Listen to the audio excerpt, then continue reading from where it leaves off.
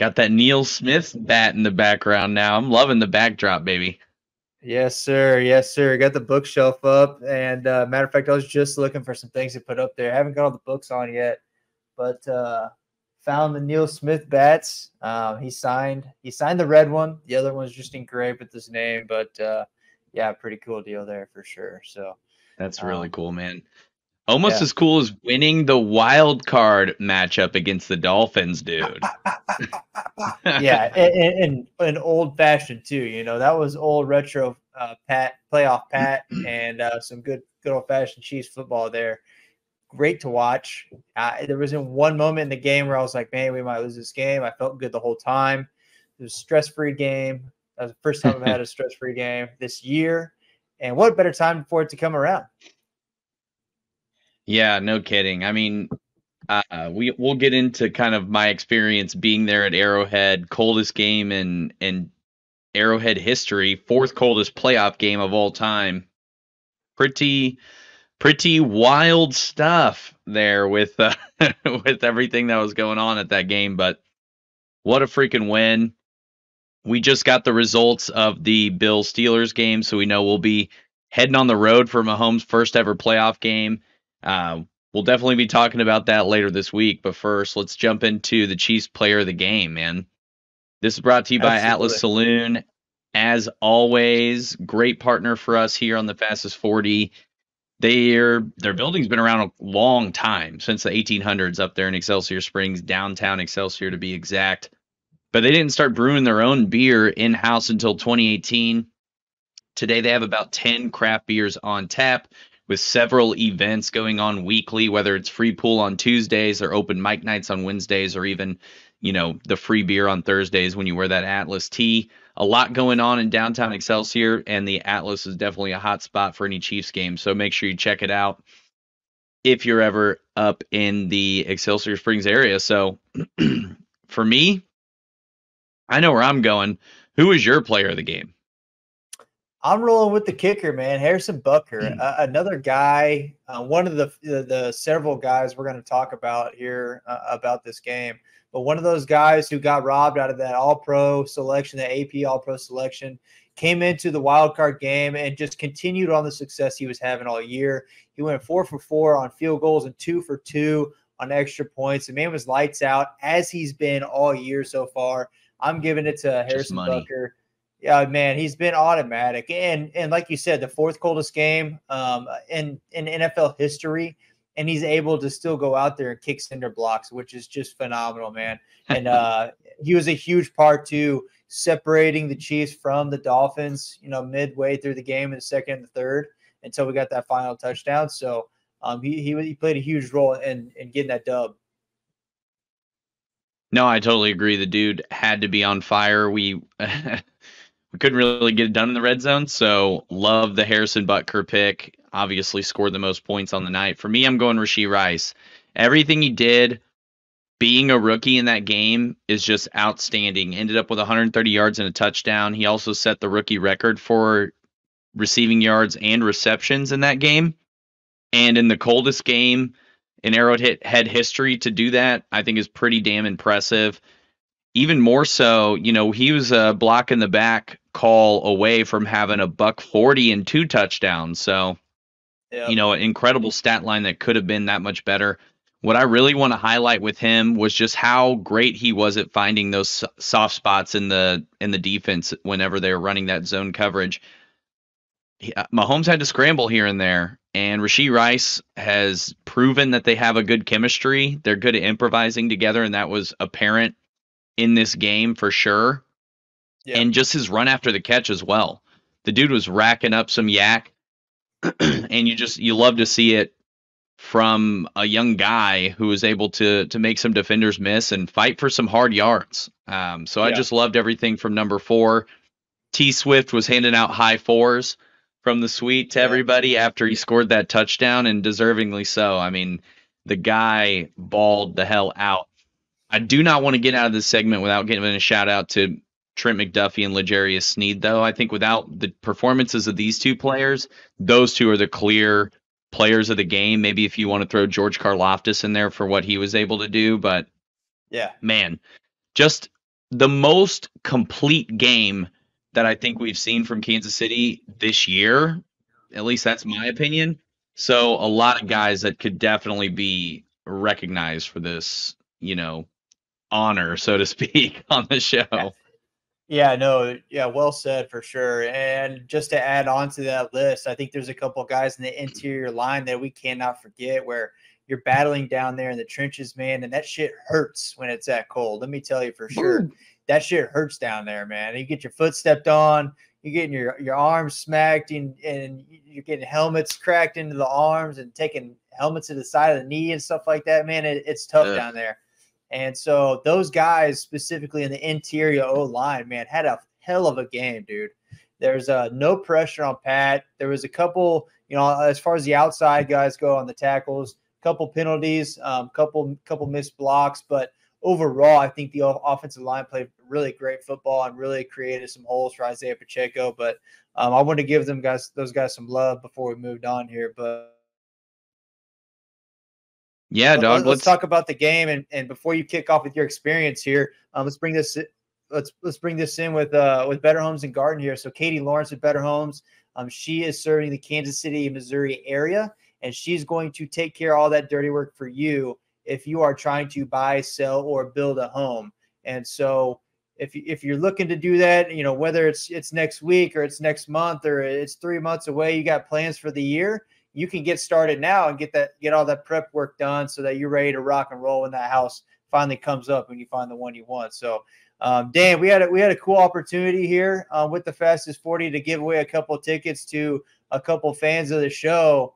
Um, tell us about your experience, your experience at the game and the fourth coldest game of the year or of the of the history of the NFL, man.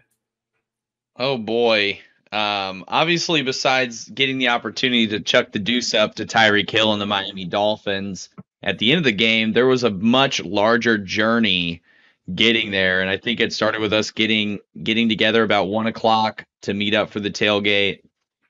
We were in the bus until about two thirty, waiting on you know traffic and the gates to open and everything like that. Finally, get in there, set up the tent.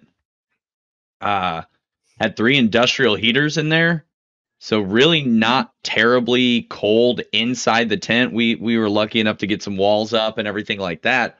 But once we tore that sucker down, it was like a slap to the face. By far the coldest experience of my life. I had two pairs of leggings on, sweatpants, thermal insulated pants. On top of that is my exterior layer and that's just the bottom half. Not to mention two pairs of socks and multiple feet warmers in each layer of sock. and uh, on the top, I had two thermal shirts, a hoodie, my winter thick winter coat, jersey, two gloves, two hats, gator mask that went up to about here, and a scarf around it. Now, I was good until mid third quarter but there were people around us that I was like, "How are you here right now?" There was a guy there in like a hoodie and like maybe two hoodies on. There was another woman across the aisle from us who fell down and like was passing out. At first, I thought it was the cold, but I think she was just pissed drunk. But when you combine that, when you combine that with the cold, it's like a serious situation. So they had to get someone up there to yeah. go help her down. You know? Yeah, yeah, yeah that was about five minutes into the game. We didn't see her again. Um, oh, nice. I think the craziest part was going to the restroom and seeing at least three to four guys at a time on the ground sitting down in the restroom with their shoes off trying to like change the the you know foot warmers in their boots or warm their feet up and i was just like man Never in a million freaking years would you catch me sitting on this damn floor. I don't care how oh. freaking cold I am. There's no way in hell I'm sitting on this piss-ridden yeah. floor. yeah, man, that is that that is that bathroom is it has a unique smell, man. It's there's nothing like the an Arrowhead bathroom. It was foul. It was foul what I walked into. Yeah, so I, I saw a report today that 14 people in the last, you know, since the game since the game was played or since the game ended until you know a couple hours ago. 14 people went to the hospital for cold induced in- injuries from the game. 14 people. I don't know if you saw the guy with no shirt on. He went yesterday. Yeah, I watched the broadcast the next day. yeah, yeah, yeah. It's too what bad, a fool. man. What a fool. Yeah, there was no Yeah, chance I was taking any of those layers off. If anything, I was about to run to the team store to get another layer. I mean, by mid third, cold had broken through everything for me.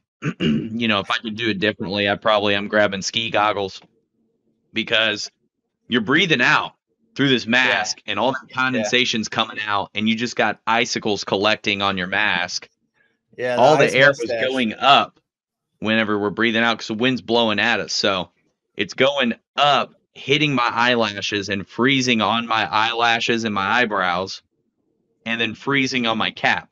So I have a layer of ice on my cap right on my forehead, icicles on my eyebrows, and when I closed my eyes, they were sticking together because the ice was sticking them. So about every five minutes, I'd pull the gloves up, do one of those numbers, and then we were good to go. But I mean, I've just never experienced that in particular before, at least not since, you know, running in the snow when I was doing 75 hard a couple years ago. It was Yeah, like it was it was serious. Um cold coldest experience, but man, so awesome. I felt like I went through some sort of like physical trauma the next day because I was just worn the F out. Yeah. Like your body is just going through so much energy to keep you warm throughout Yeah. that game. I was just beat, brother. yeah. But we had a couple other cool memories from the game. You know, we had the uh, the ice mustache. We were watching here in the basement, and uh, I mean, as soon as Andy popped up and he had crystals on his mustache, I was like, "This is iconic." And then we had another Oh, one yeah. later on in the game where uh, uh, Patrick Mahomes cracked his helmet right through the middle, man. And uh, I, I shit you not, man. As soon as that happened, I looked over at Katie. I think Strato was here at that point. I said, this is the moment we will remember when we win the Super Bowl. We're going to point back and say Patrick cracked his helmet that year, and then we went on to win the Super Bowl. Like it, it was that was that that type of moment for me for sure. So I actually cracked a helmet of mine uh, in in uh, Pee Wee football. I cracked it right up the side, man. And uh, my dad sent me a picture of, of of Patrick today, and he's like, "Does this remind you of anything?" I was like, "Damn, I didn't even think of that. That's crazy." So.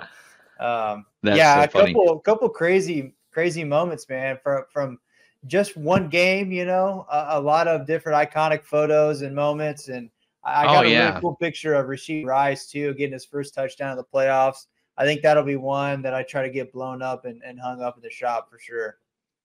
I think one of the coolest cuts I've seen was of Mahomes' helmet, and they put it next to like a silhouette of a Grim Reaper, and it's like, Yeah.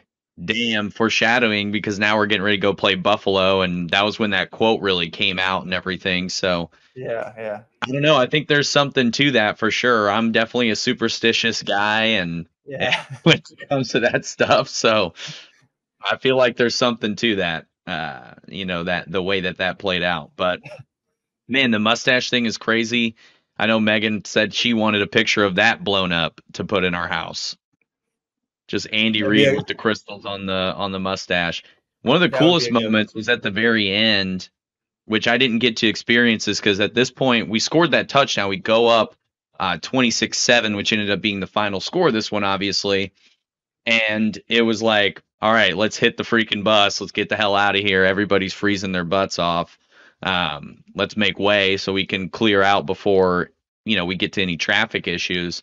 Yeah. And uh, right, like I, I kid you not, right when we get to the parking lot is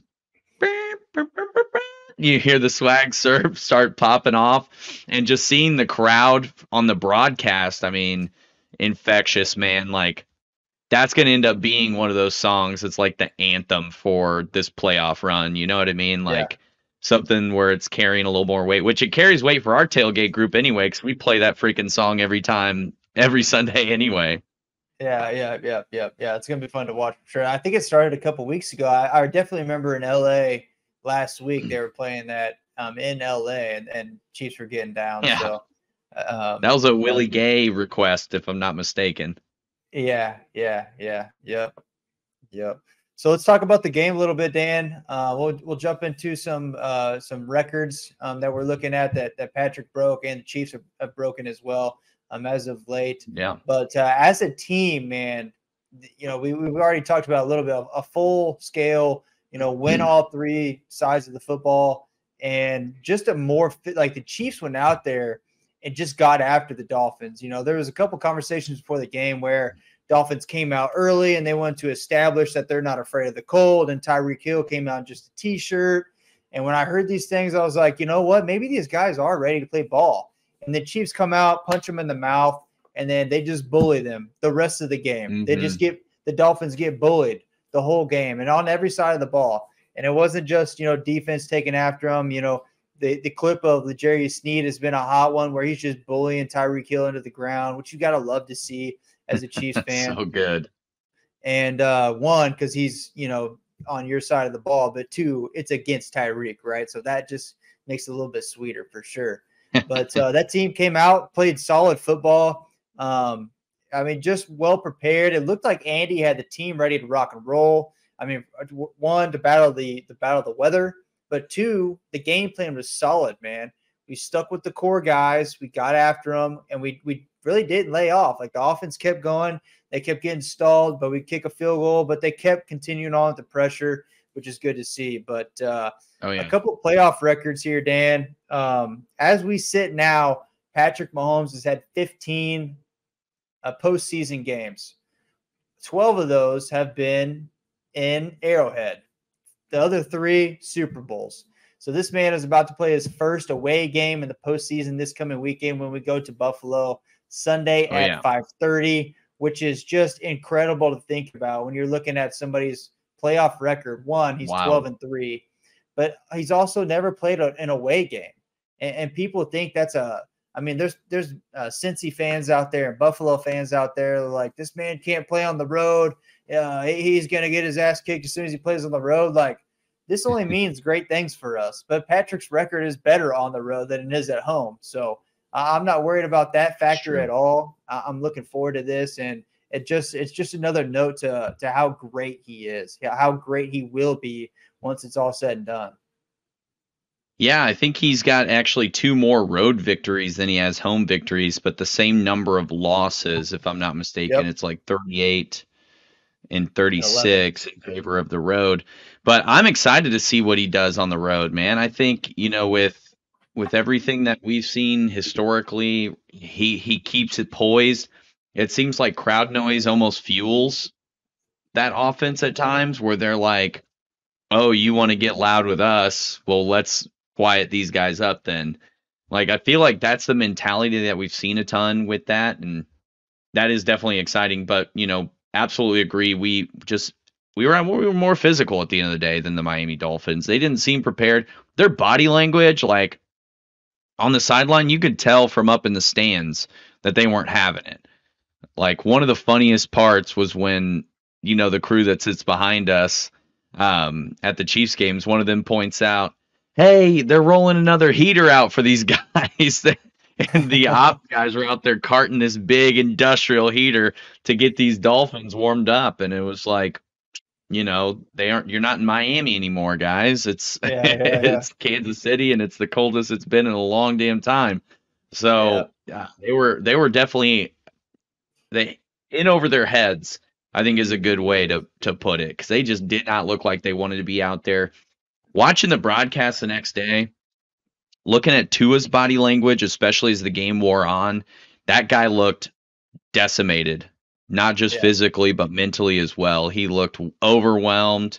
His first playoff game, mind you. So this was his very first experience in the postseason as a starter, and it's in one of the harshest environments you can think of.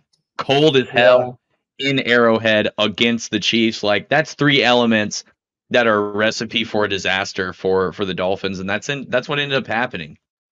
Yeah, I think it all yeah. really it starts with the defense, right? We can jump into what the does, defense and the offense did here. Uh, it starts with McDuffie and Sneed. They were all over Tyreek Hill and Jalen Waddle. I don't think Jalen Waddle had any kind of meaningful pass that he caught until the fourth quarter. So he was almost non-existent, even coming off an injury. And then Tyreek Hill, right? We saw the the touchdown on McDuffie, obviously. I would contest that if you're gonna foul him, do it in a way that he cannot catch that ball so that he doesn't just like make our guys look like the three stooges and score a touchdown off of that. Yeah. But other than that, I mean, you saw L'Jarius Sneed bury him off the line on on those routes within the five yards, so legal contact there. And then McDuffie just drilling him on that screen pass too. They were very physical with ten uh, in that game, and it showed. It showed. I think he was definitely very much beat up through throughout that game, and that's the best way to kill speed is to is to rough them up. And so we yep. did that with their you know with their guys. One hundred percent, and and a couple other guys to note on the defense really had a great showing across the board. Uh, whether it's linebackers, secondary, D line, you know, obviously, obviously Karlaftis went out, got those two sacks. That guy gets yeah. better every single game, man. He kind of it kind of felt like he had a little bit of a plateau um, last season at the rookie season, but this year leads the team in sacks and comes out and has two more in the postseason. Um, I'm looking forward to that guy being, uh, you know, another great guy to have on the defense long term. And uh, a yep. couple other guys I want to know here: Mike Edwards, another great play, gets the interception. And then you have to talk about Nick Bolton when you talk about this defense, man. That guy is the absolute one. He's the absolute leader. But two, he is he might be the fastest guy on the defense, man. He is so lightning fast. And when he catches you, he cracks your ass, dude. And he's sideline oh, yeah. to sideline. He does not stop. And I mean, he is the forefront of the run defense there. You know, obviously, you got, got, got, your guys at the D line who really, uh, you know, soak up a lot of those blocks. But man, Nick Bolton can squeeze through a gap and really crack you in the backfield, man. Oh, yeah. He was all over the place. And I mean, doing it with basically a club on one hand. Like the dude was one handed throughout that game, and just his ability to to wrap those guys up still in that cold weather. You know that didn't feel good on Ooh. his hand at all. So just seeing him do that, not to mention the the plays that Mike Edwards was making in the back end too, helping those guys in the front seven, helping you know Sneed and McDuffie in their coverages as well, forcing that that early pick onto a all of that was fantastic. I think Mike Edwards is slowly working his way towards a big payday um, in the offseason, whether it be us or another team. So love having him, love having Bolton. Um, man, I mean the defense was just firing on all cylinders and and and taking away anything the Dolphins were trying to get from us on offense. Yeah, and really looking forward for for the Chiefs fans, looking forward for the rest of the season. You know, this has been the most consistent group maybe in football. You know, the, the only team right. to not allow, I think, what was it, 31 points is what I saw today. But really, they they haven't. I mean, week in and week out, we have we've had weeks where we're missing Bolton. We, uh, you know, we mm-hmm. missed Chris Jones for a little bit.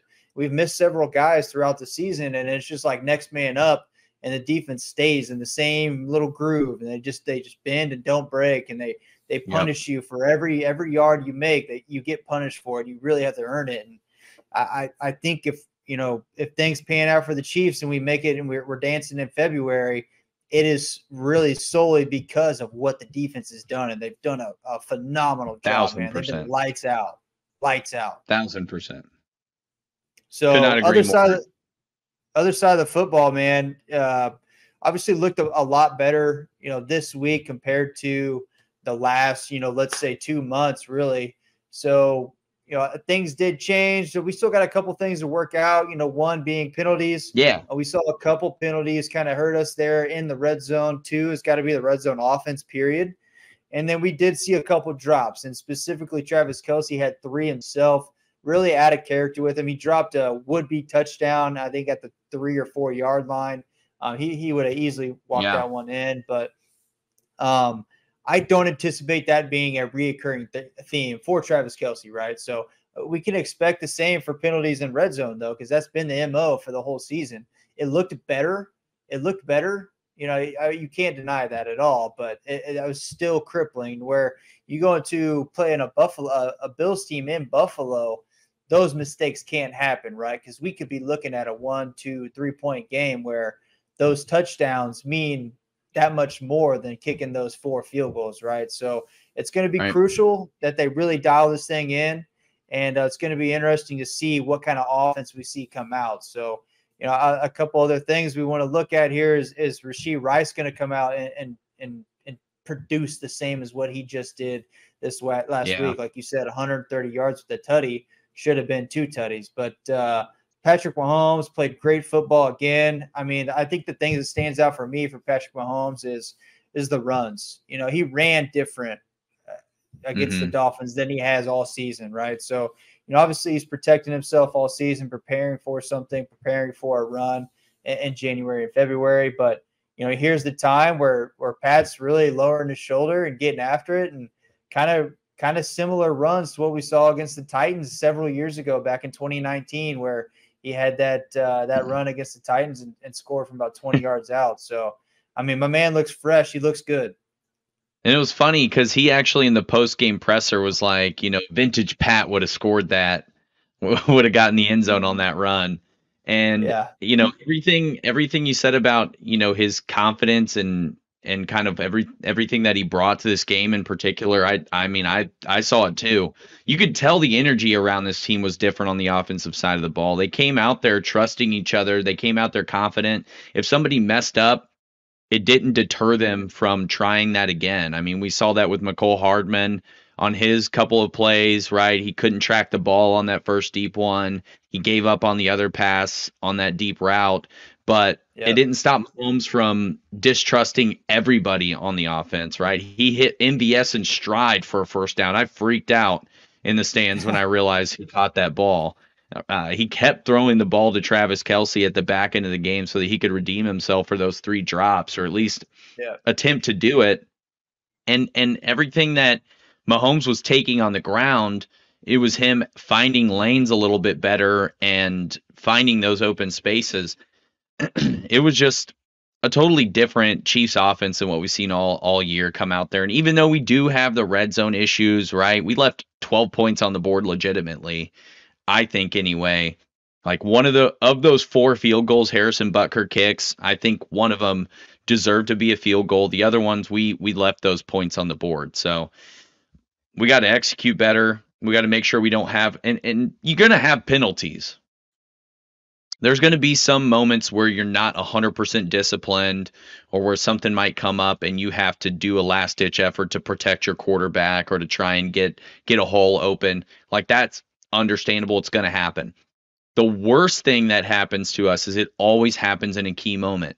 It's yeah. always happening on a touchdown. It's always happening on a conversion or a third and short that makes it a third and long or on yeah. first or second down. Now we're at second and 25.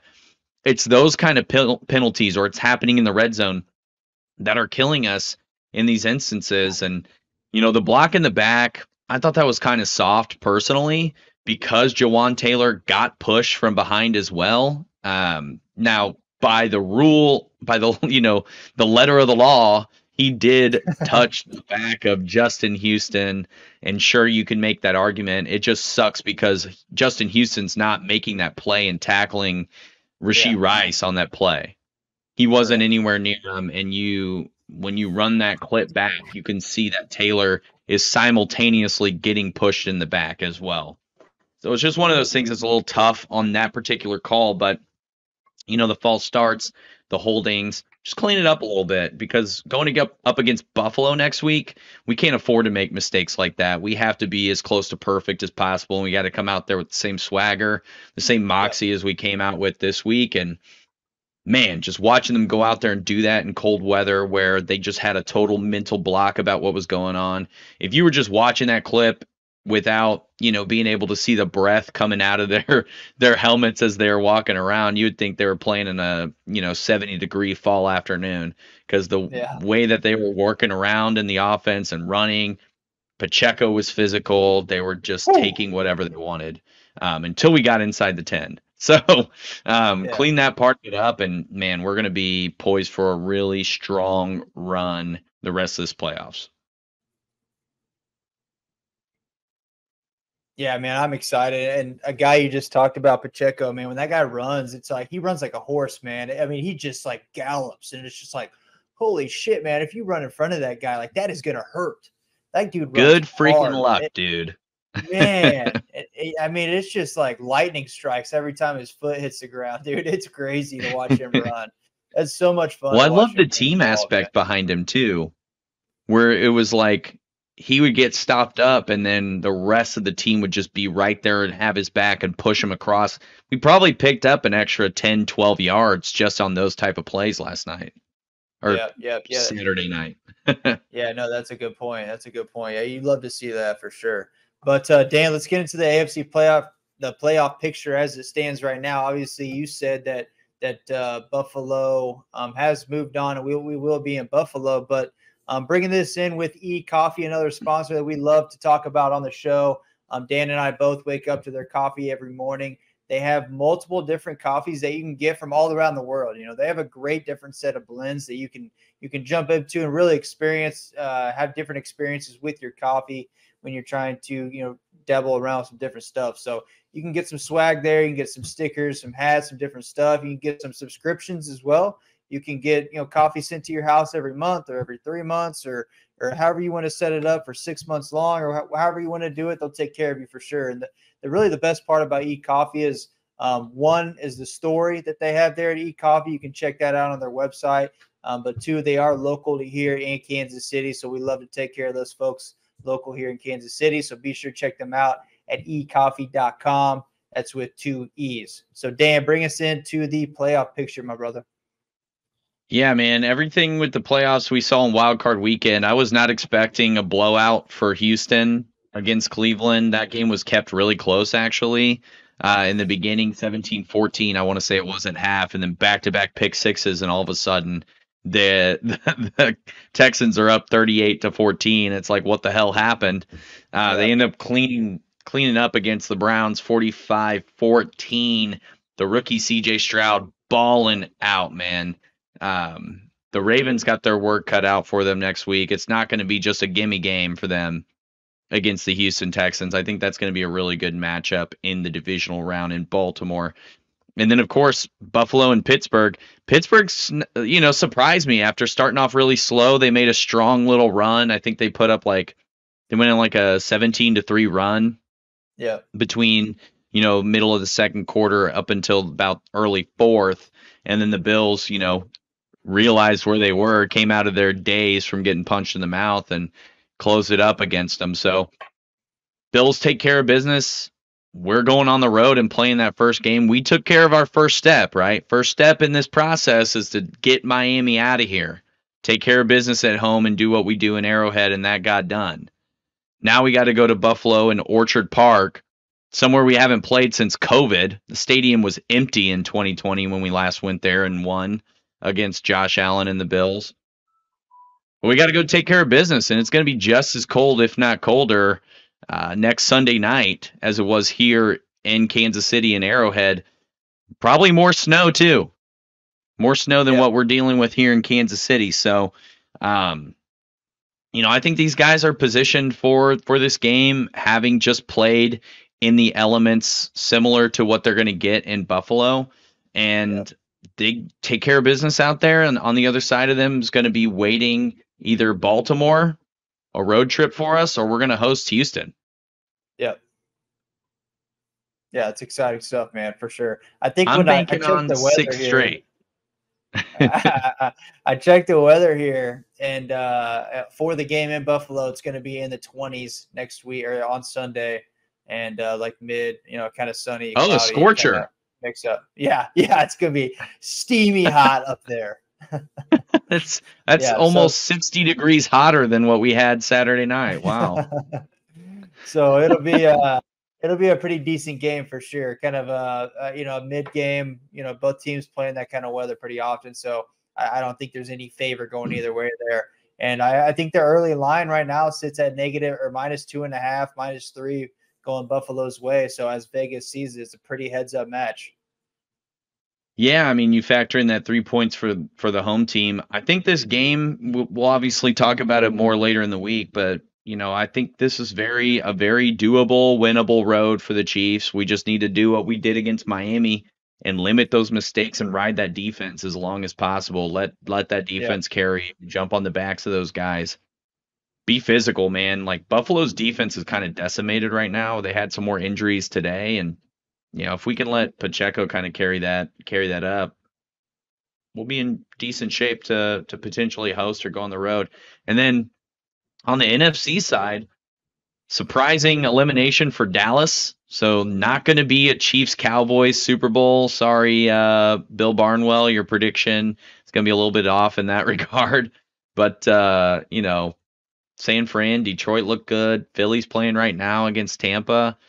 Down there's going to be there's going to be some good matchups in that Super Bowl with the with the teams that are alive in the NFC too. Yep, yep. Got a lot of football left. Uh, football fans, you can't remember, you can't forget to enjoy it because man, we are really dwindling down the amount of football games we got left. So soak all this up. If you got to separate yourself for a little bit, go watch a little football. The family's up there eating dinner. You got to squeeze away. You got to go watch the football, man. You got to soak this up. Yep. Take it all in. Take it all in. I know we will. Well, Trey, I'm glad we're we survive in advance, baby. We're making it to the divisional round. We'll take on the Buffalo Bills in Buffalo. Talk more about that uh, early, later this week, rather. Uh, make sure you follow the show at the fastest underscore 40 on IG, on X. We have a Facebook page as well. We did that ticket giveaway. We probably are going to do some merch giveaways. Um, our partners at eCoffee are going to throw us a couple coffee bags. We'll try and give those away throughout the playoffs as well.